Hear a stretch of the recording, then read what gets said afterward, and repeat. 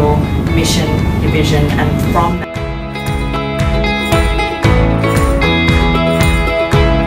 what are we doing? Every school wants to, from a commercial perspective, and it's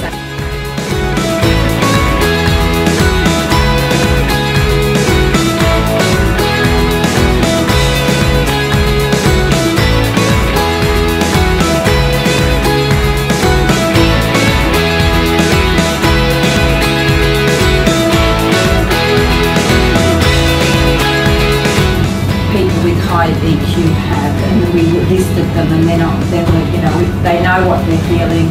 they can sense what other people are feeling, uh, they understand what emotions mean and how they